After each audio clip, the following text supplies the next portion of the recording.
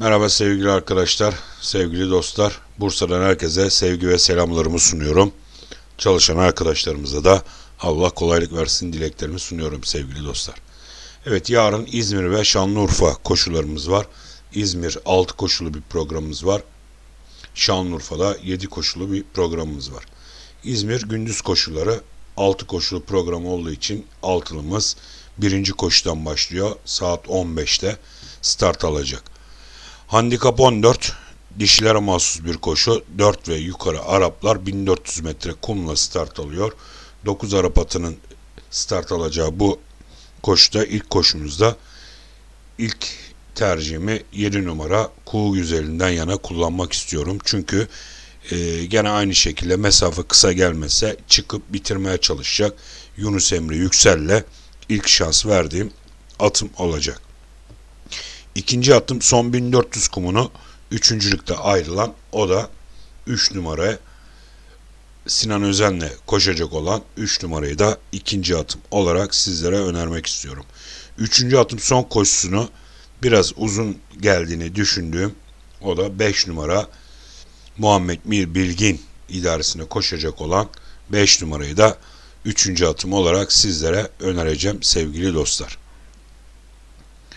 Dördüncü atım burada 8 numara olacak. Alperen Oluk'la e, Eren Yavuz vardı zaten üstünde. Üçüncülükte ayrılmıştı. Şimdi Alperen Oluk var. Üstünde İzmir jokeyimiz, aprantimiz, apranti arkadaşımız. Yani sonlarda atacağı güçlü sprintle herkesi avlamaya çalışacak. Aman diyorum bunu da kuponumuza mutlaka yazalım. Son olarak da 9 numara Kolaçan olacak. Burada sonlarda o da etkili geliyor. Harika bir e, Mahmut Turan da yani getirir diye düşündüğüm 9 numara Kolaçan'ı da kuponumda yer vermek istiyorum. Yani sıralamam 4, 3, 5, 8 ve 9 olarak yer alacak atlarımız. İkinci koşu satış 2 koşusu 3 yaşlı İngilizler 1200 metre kumla start oluyor. 8 İngiliz atının start alacağı bu koşuda zor geçeceğini düşündüğüm birbirlerine eşit gördüğüm safkanlar bir araya gelmiş. E, yani burada 6 ve 7 hariç geri kalan hepsini kuponumda yer vereceğim.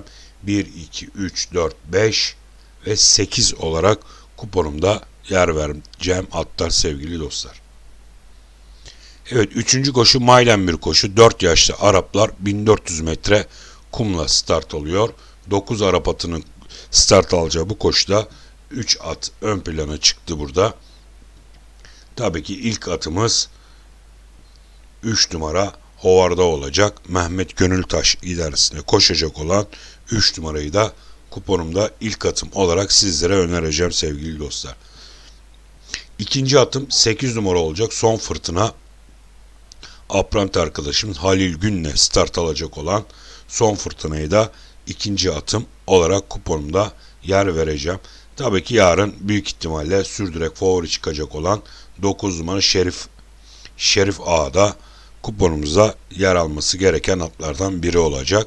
Çünkü son ikinciliğinde gayet güzel tatminkar bir ikincilikle ayrılan zaten son 3 yarışında 2-2-2 gidiyor. Yani maydene veda etmeye çok yakın olacak. Onun arkasında da zaten son fırtınada üçüncülükle ayrılmıştı. Hovarda'yı biliyorsunuz. Hovarda'yı da mutlaka kuponumuza ilave edelim. 8, 3 ve 9 olarak kuponumda yer vereceğim. 3 attan biri yarın maydene veda eder diye düşünüyorum sevgili dostlar. Evet dördüncü koşu Sultan koşusu olacak. Bir kupa koşusu kısa vade 8 4 yukarı İngilizler 2100 metre kumla start oluyor. 6 İngiliz atının start alacağı bu koşuda 1 numara Aksakallı ile 5 numara Ekiro olarak start alıyor sevgili dostlar. Biliyorsunuz burada kaçak atlar bir araya gelmiş. İlk kaçak atımız 2 numara Domro olacak. Elon'un e, kazandığı koşuda gene kaçarak bitirmeye çalıştı. Ne yazık ki Eloni'ye yakalandı ve ikincilikte ayrıldı. İlk atımı Domra'dan yana Gökhan Kocakaya idaresinde koşacak olan Domra'yı ilk atım olarak kuponumda yer vereceğim. İkinci atım Aksakallı Mehmet Kaya ile start alacak. O da bir kaçak at olduğunu herkes biliyor zaten sevgili dostlar. Bu mesafeyi de iyi koşar ve de kazandığı koşularda zaten var. İlk ikinci atımda bir numara aksakallı olarak kuponumda yer vereceğim. Son olarak sonlarda Gökhan Gökçe ile harika bir sprinte kalkıp ikincilikte ayrılmıştı. Bunu da kuponumda yer vereceğim. Üçüncü atım olarak mutlaka sevgili dostlar bunu da değerlendirin diyorum. O da Caliente olacak. 6 numaralı Caliente'yi de kuponumda yer vermek istiyorum. Domra ile Aksakal'ın kapışmasında bu da e, yararlanıp yarışı 3. 4. takip edip sonlarda atacağı o güçlü spritle dışı açılıp Domra ile Aksakallı'yı da avlamaya çalışacak. Yani 3 at sizlere önereceğim.